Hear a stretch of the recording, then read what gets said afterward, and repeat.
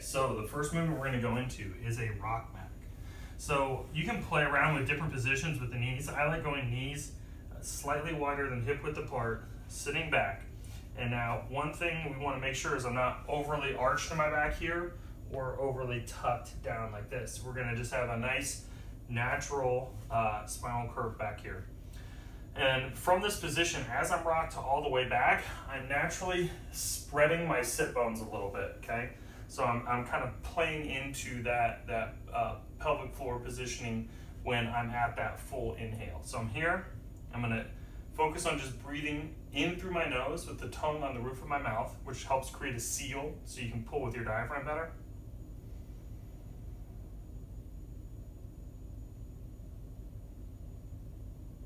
And I'm just gonna pay attention to the breath. Rather than try to force it or direct it right now, just pay attention to it.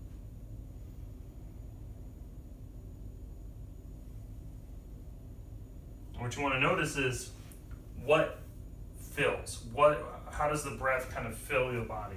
Is it kind of starting from the navel and wrapping itself around your back and then filling up towards the chest as you get to the top of your inhale? Or is it starting up high and kind of staying up high as you breathe? So ideally we breathe in three, three dimensions. I'm breathing forward, side, and backwards all at the same time as well as having this gentle rise up to the chest and fall back down. So I'm going to practice that in the rocked back position, and then I'm also going to practice that in the rocked forward position. So now I'm leaning out. There's a little bit more tension on the core already from this position than there was before.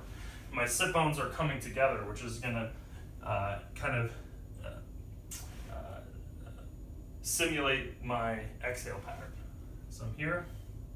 Again, not letting there be a big drop on the low back, just nice and normal.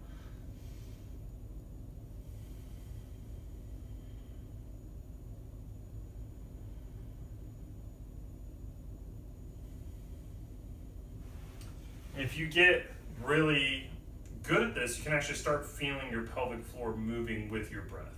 It can take some while to develop sensitivity down there in the beginning. Now, we have those rock back positions that is very similar, that rock back position is very similar to a squat position. So this is another progression we can do to add more load to the system is say, okay, you can breathe on the hands and knees, but can you breathe when you're squatted or standing? And here I'm okay to let the tailbone relax a little bit.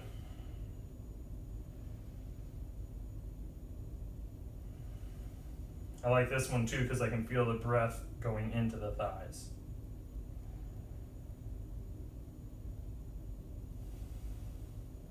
And focusing on your breathing there. So try that as your baseline, the rocked back, rock forward, and then if you're ready for it, try the deep squat breathing position.